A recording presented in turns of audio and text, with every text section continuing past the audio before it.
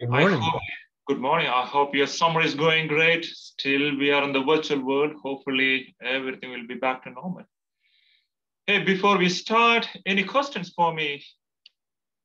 I hope you got a chance to go through the video. Uh, some of you may have, some of you may not have. Uh, I was planning to go through one more time with you guys. So uh, if you have any questions, feel free to ask. Uh, but before we start, uh, any burning questions? Uh, with no, what I'm going to do, I'm going to share my screen and we'll get started.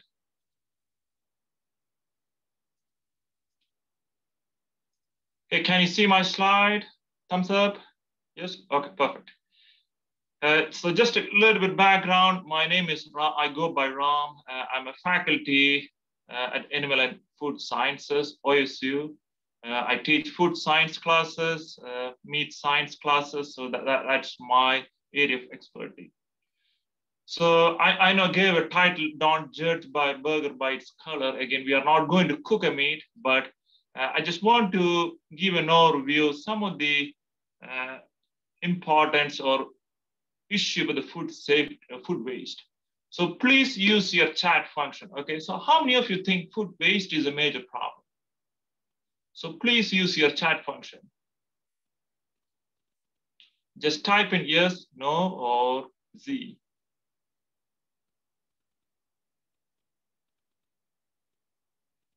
I can see some chat coming up. I got one yes. So the food, the food waste, it's a big issue. So that, that's the one thing uh, we're going to discuss today. Uh, again, we're going to focus mainly on meat side, how it's going to affect. So let me ask one more question. What do you think about this one? Again, use your chat function ABCD.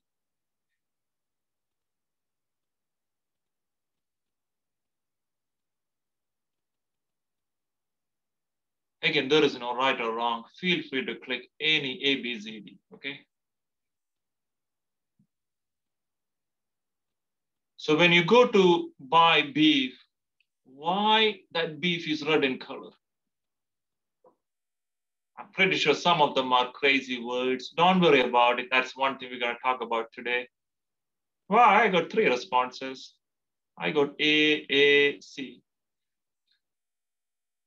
So the meat color, wow, I'm getting good participation. Thank you. So I got A, C, A, C.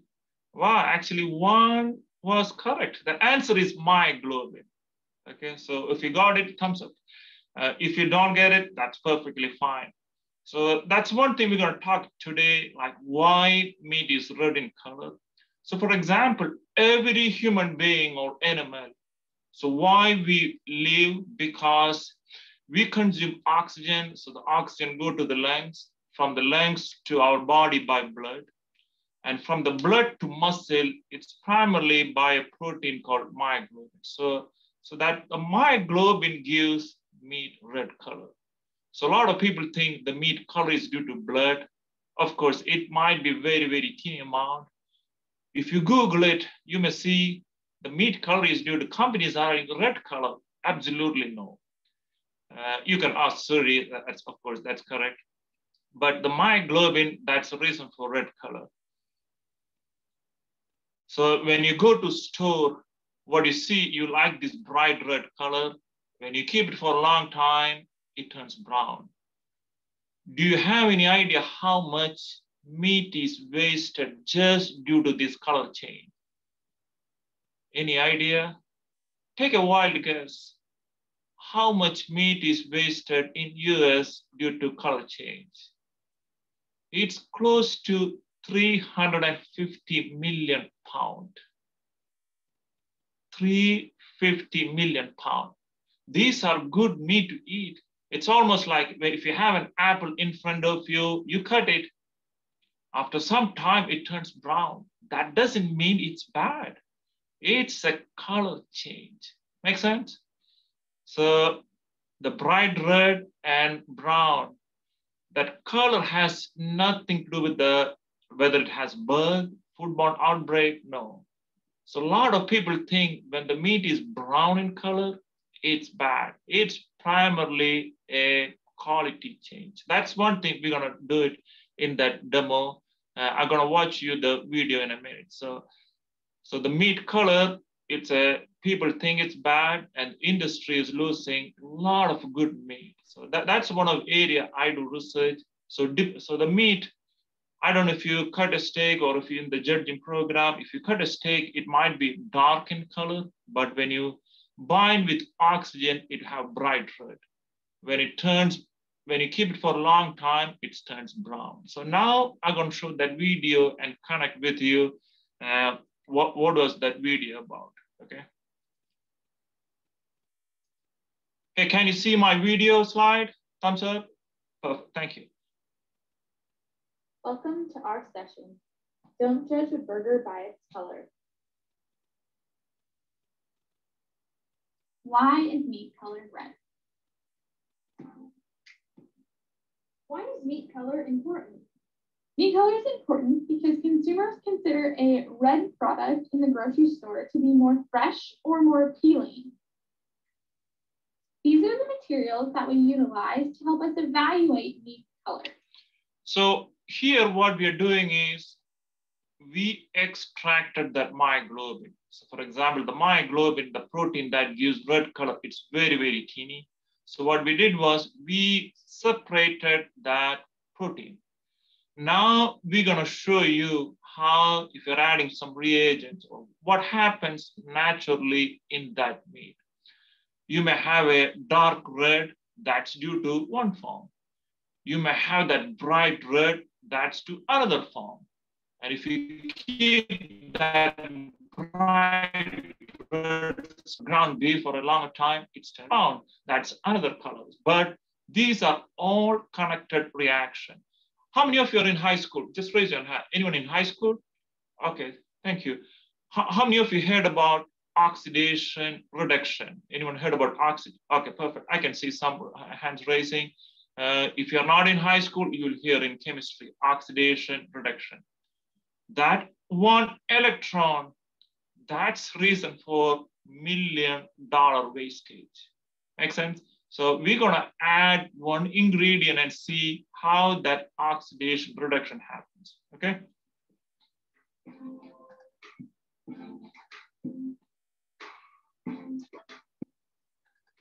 So don't worry about these fancy names like pipette, cuvette, don't worry. Imagine you are making uh, cookies at home.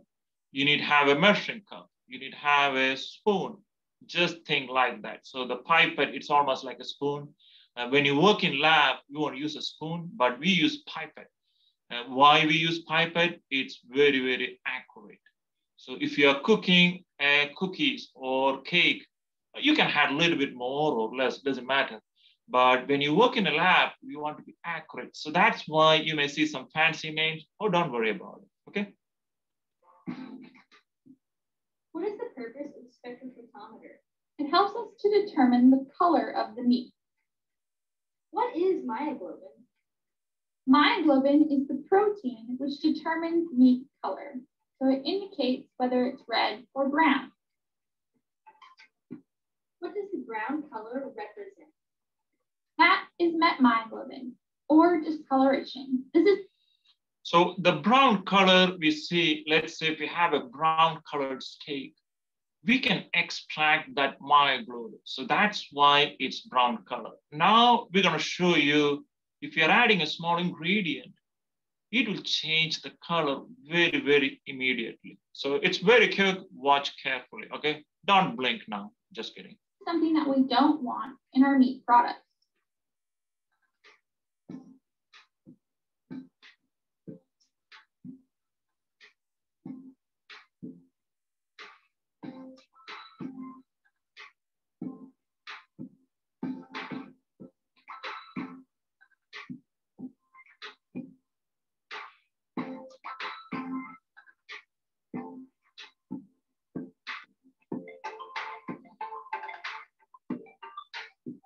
So this is a reducing agent. So for example, now we have the met form, we're gonna add a drop of this solution, then it become red in color.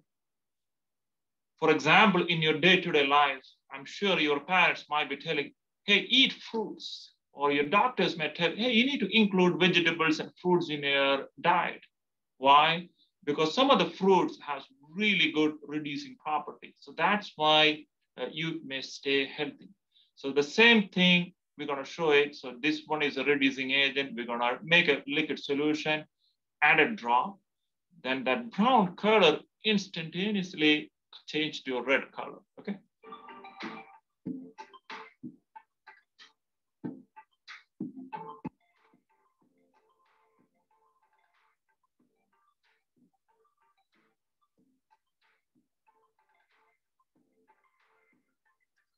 Did you see that color change? It changed from brown to red because that dithionite is a reducing agent. What does the red color represent? The red color is oxymyoglobin, or the bright cherry red pigment that you typically see in the grocery store.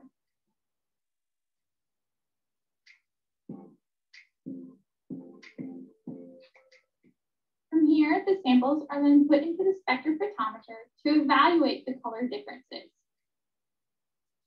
So the spectrophotometer, for example, uh, we can tell it's a bright red, brown in color, but we want to quantify it. So we want to know how much is the color. So that's the machine, it measures the color. For example, if you want to go to Home Depot or Lowe's or Walmart, and if you want to buy a specific paint, I don't know if you've seen, they have a mixing uh, place. Uh, actually, they look at the color or you can quantify the color. Then you can buy a, a specific paint. The same principle is used here, use the spectrophotometer to measure or quantify color. So that was the first uh, experiment. Any questions before we move to the second one? Come on, feel free to ask any questions, okay? I'm pretty sure you have some questions in your mind. There is not right or wrong. Come on. You can type in, or if you want to say loud, that's perfectly fine.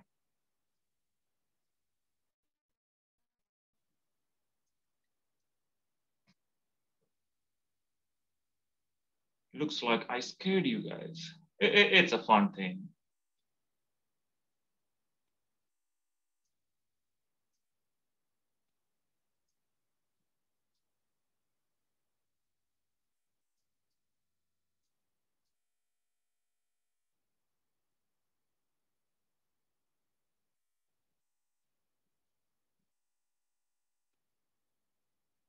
I'm pretty sure you guys are thinking, as while thinking, I'll go to the next one. Okay, I got a question. Thank you. How are you today? Uh, I'm doing good. I'm doing good. Uh, we, as a faculty, we have different jobs. Uh, I'm really enjoying this session. We have some students doing research. Uh, their projects are going well. Yeah. Thanks for asking. Wow, okay.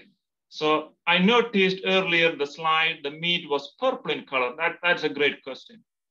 Uh, the reason why I showed that purple color, uh, theoretically, if you have a perfect condition and if you vacuum package, uh, meat really looks like purple. Uh, in the real world, you probably won't see it because there is oxygen everywhere. So let's say if you cut a steak, it will bind with the myoglobin and you'll see a dark red color. Uh, for example, if you buy a, a tenderloin steak, often it's vacuum packaged. You probably won't see that purple color again, but you'll see a dark red. But once one, when you buy the all wrap one, it'll have a bright red. So it's more like a schematic presentation. You will never see a purple colored steak. Great question, great question.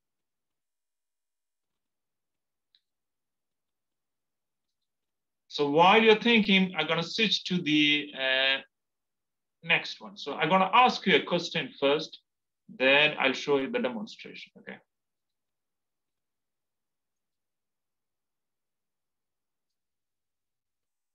not, not this one. Let me put another one. Not this one. Okay, what do you think about this one?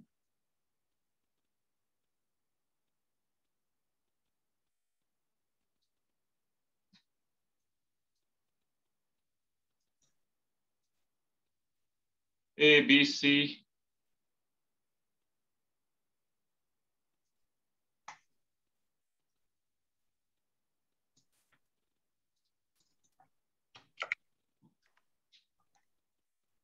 Yes, so I got some response, perfect. So uh, what we're going to show is like now we're going to show you a video how we can test uh, the quality of the food, okay?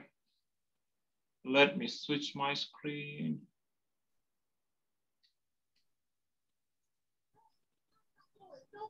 Okay, what did you learn? Today we're going to talk about meat tenderness. Why is meat tenderness important? Meat tenderness is important to improve the overall eating experience. We typically want a more tender or juicy product. These are the materials used to help us measure meat tenderness. Why do you measure the temperature?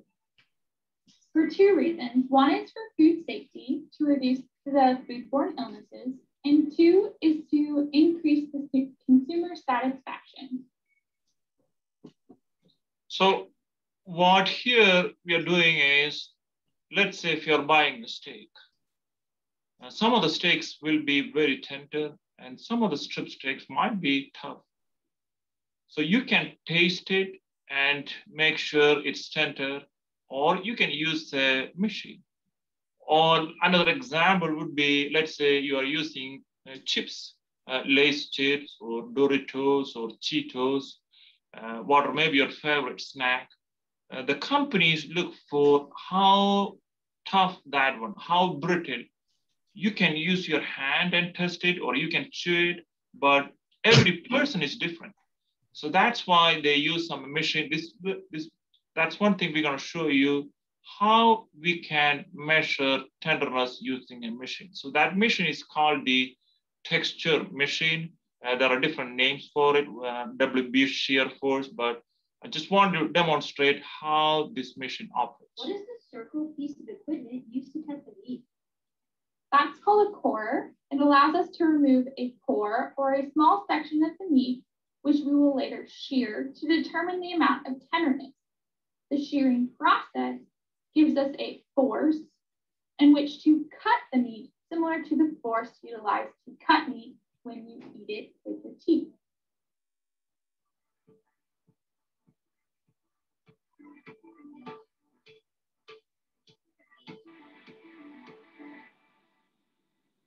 That a core? Yes, it is. What is the purpose of measuring shear force? Shear force will cut through the product similar to how your teeth does, which gives us an indication.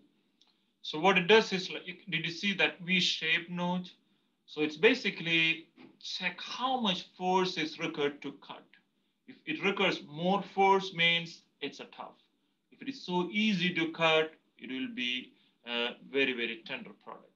Of how much force or how tough the product is when you're consuming it. Which steak is tougher and why? The steak that is well done or the one with the higher number is considered tougher. Okay, what did you learn? So that was the second one. Now, any questions about this presentation or the anything you can think of from a quality perspective? I'm sure you may have tasted marshmallow or a hard candy, so there's a difference. Uh, this is a machine used to test.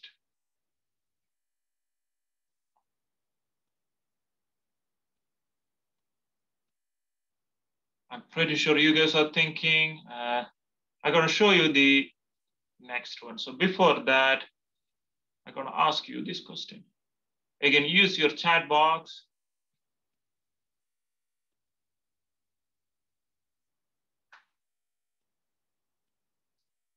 Thank you. I got two response. That's good. BB. Ah, you, you guys are on spot. But one more response. Ah, everyone got right. That's good. Do you think all bacteria are harmful? No. So the next one, we're going to show you about uh, how we can quantify bacteria. Uh, because I'm pretty sure everyone heard about foodborne illness, food poisoning. You probably may got it. I got it. So it, it's very, very common. And it's really, really hard to make food uh, without any bugs uh, because there are a lot of steps involved. So now we're going to show you video how you can uh, quantify uh, number of bacteria in food. So this test is done by almost all food companies. They need to test it uh, before they ship the product. Food safety and microbial growth.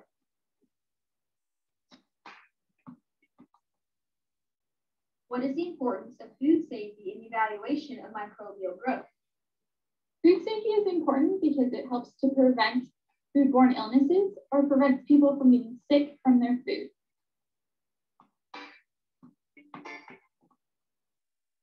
This is the equipment that we typically use to evaluate microbial growth or the organisms that might be on your food.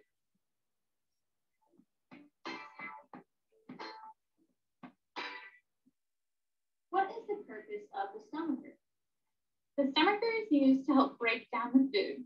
Prior to using the stomacher, we weigh out a sample from so this one is an example of a ground beef. You can use any food product like it can be spinach or lettuce or tomato or cantaloupe, uh, anything you like to test. Basically, some of the steps involved are, let's say you have a ground beef. So the meat is a really good nutritious product. So the bacteria are so happy. Now we're gonna identify the bacteria in an outside environment. So that's why we need to separate it. Then we're gonna grow in a really good media where it will add a lot of nutrient. So if there is more bacteria, you may see bacterial growth. Uh, it might be like a small spot. We will show you a couple of uh, examples. Then we can really count it, how many bacteria are present. Uh, there are different type of tests if you want to identify is it E. coli or Listeria, uh, we can do different tests. From the food, and then we put it in a stomacher bag.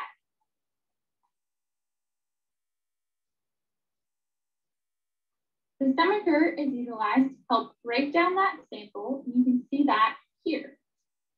After stomaching the food, we take a small sample and dilute it into test tubes to reduce the amount of microbes in the sample. What is the importance of the flame?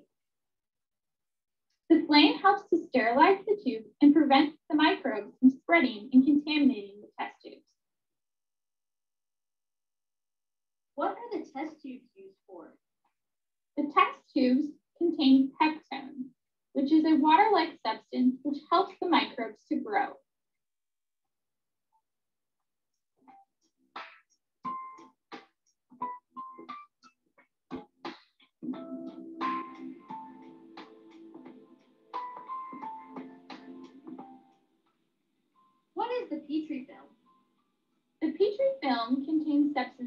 allow for the microbes to grow. Currently, they are dried, and by placing the sample with Peptone water on the Petrifilm, it allows for hydration of the substance and allows for growth.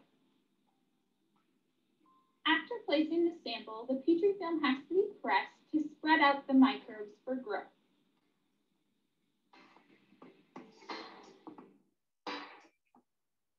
The red dots on the Petrifilm? The red dots are the actual colonies for microbial growth. Okay, what did you learn? So that's all about this presentation. Uh, feel free to ask questions. So now we have 10 more minutes, I guess. Uh, anything you can think based on these uh, videos or any of the experiments we did. Any questions for me?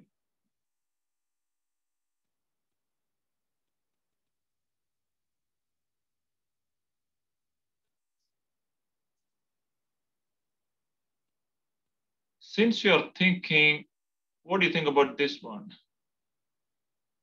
Again, use your chat box.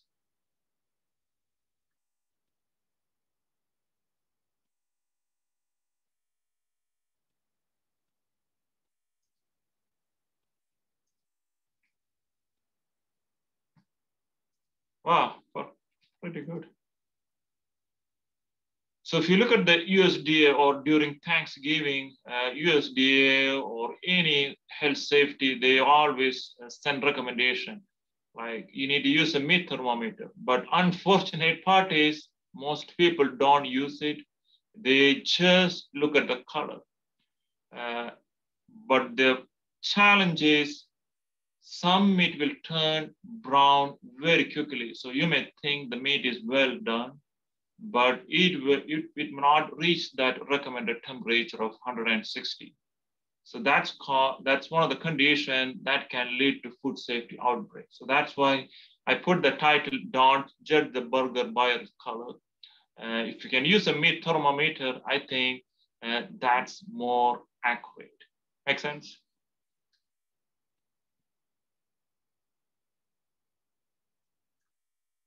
Hey, feel free to ask any questions about uh, presentation or any of the related topic. I don't know about your background or long-term goal, but uh, food science, it's a pretty neat area. Uh, ton of job, a lot of application. Uh, OSU has a program. Uh, uh, you, you, you may check it out. Is there any way to check the tenderness before buying? That, that's a great question. That's a great question. Uh, that's one thing uh, various companies trying. That's why uh, sometimes certified tender, uh, the Angus program, uh, they do a lot of testing uh, before selling in the market. they can do some pretty good prediction. Actually, there are some machines available where we can take it just like, almost like a, take a picture with your cell phone uh, it will give you how tender that meat is. Uh, so we, as a consumer, we cannot do it, but the uh, industry, they, they are doing it. Good question.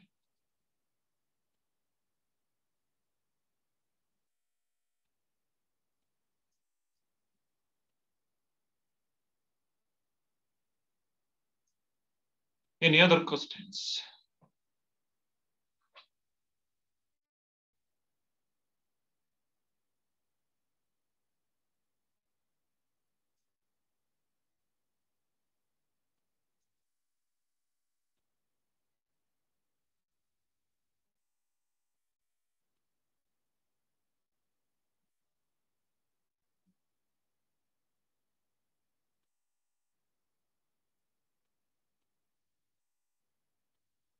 Anything related to color or food safety, food micro.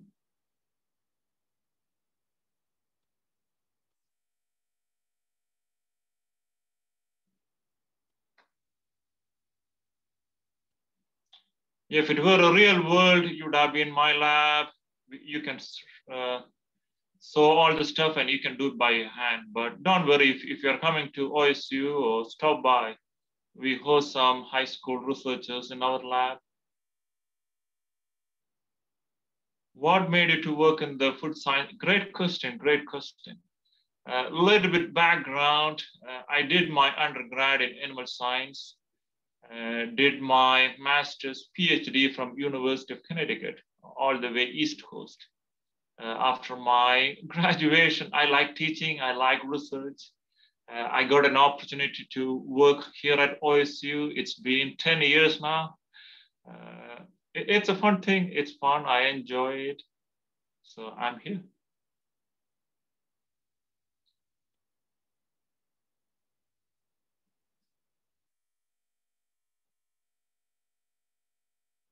Great question. With today's food safety practice, are odds of getting tainted meat high? The food safety in general, like the, some of the techniques the industry is using, it's amazing. Uh, you may still hear like uh, some cases in news, but if you think about the total number of meat produced, like billion pounds of meat or billion pounds of fresh produce, uh, it's very, very less. If you look here, like maybe 10 years, it's a very tricky one because we are using some advanced technologies to detect. Maybe 10 years back, they probably won't detect the uh, as much we do now. So that's why you may still hear food safety issues, uh, but we are making progress. And again, as I mentioned, to get zero foodborne illness, that's a big challenge because a lot of people involved, but there are a lot of rules and regulation coming up that makes the food industry more streamlined and also uh, have to reduce the outbreak. Great question, great question.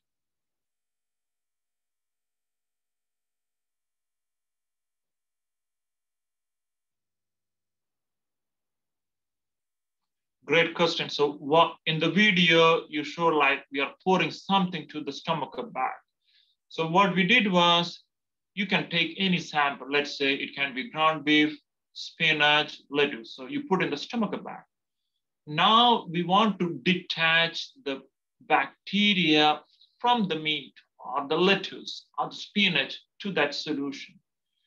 So the purpose of the solution is twofold. One, to detach that bacteria. And also that solution is a really nutritious media. Why? Because once it is detached, we want to see the bacteria growing.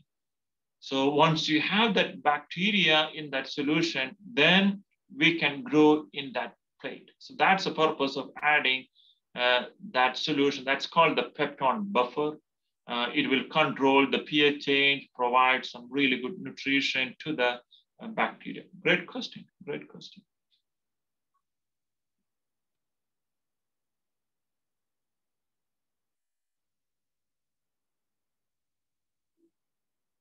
Hmm.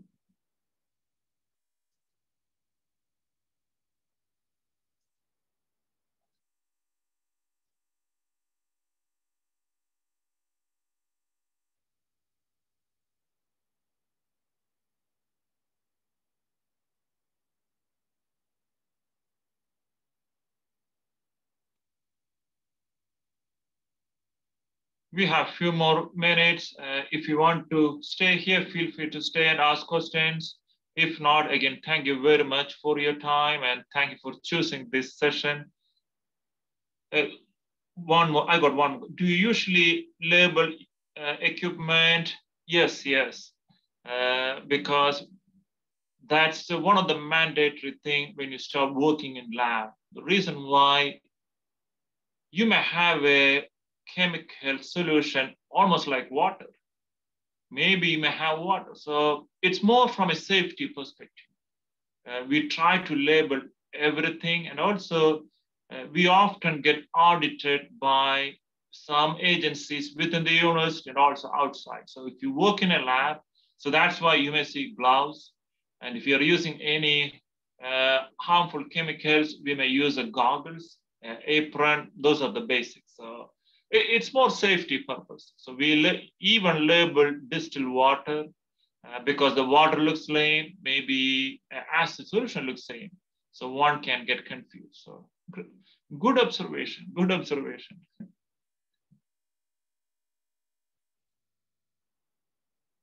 So once again, thank you very much. Feel free to leave or follow your 4-H uh, teacher instructor. Uh, appreciate your time and have a great summer. And once classes start, uh, love science, okay? Love science and pursue a career in science. We need, we, we need some smart students like you, okay? Good luck. Thank you.